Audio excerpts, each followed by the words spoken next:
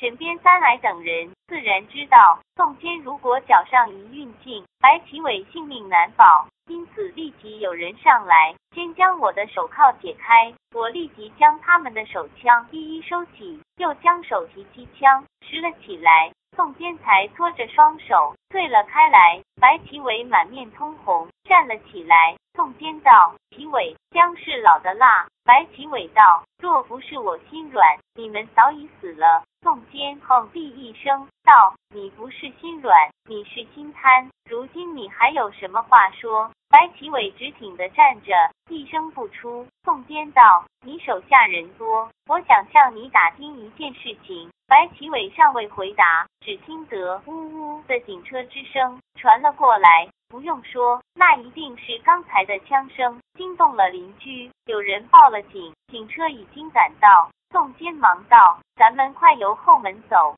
我连忙将枪械一齐抛在地上，迅速地和众人一起到了后面，又立即掠出了横向，来到了马路上。宋坚紧紧地靠着白旗伟，其余人则立即散开，若无其事地向前走去。我们刚一走出，便听得破门而入之声，我心中暗叫一声好险，因为若是给警方当场捉住的话，实是难以脱身。我们走出了几条马路，宋坚向我使了一个眼色，我跟了前去。宋坚道：“齐伟，你手下人多，眼见广布，可有发现一个和我一样的人和一个女子的行踪？”我补充道：“那女子就是会被你绑票的红红。”白旗伟道：“我接到报告，你是和一个女子一起上岸的，但是那司机却又说老大的直通电话要他去接你们，我怕第一个报告不确，未曾相信。”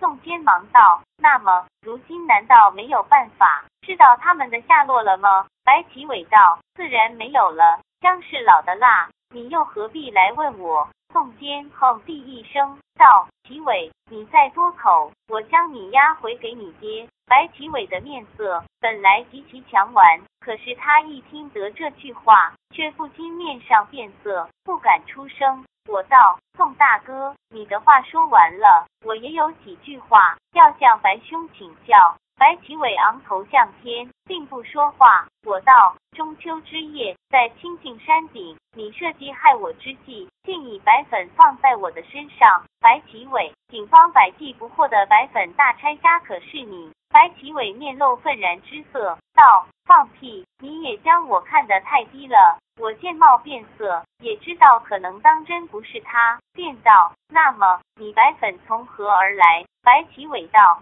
是一个手下献计，我怎么知道？”我紧盯着道：“那么你这个手下一定和白粉拆家有联络？”宋大哥，你说一句话。宋坚想了一想，道：“好，齐伟，你若是能带着你的手下，将警方九寻不获的毒贩头子捉到，那我便替你在你爹面前求情。”白齐伟道：“这件事却需慢一慢。”宋坚哈哈一笑，道：“好，如今二十五片钢板既不在我手中，也不在你手中，咱们骑驴看唱本走着瞧，看究竟落在什么人的手中。”白起伟道：“走着瞧，便走着瞧。”刚好一辆巴士到站，宋坚向前跨出了几步，他一拉我的手，便上了巴士。从巴士上望下去，白起伟还狠狠的瞪着我们。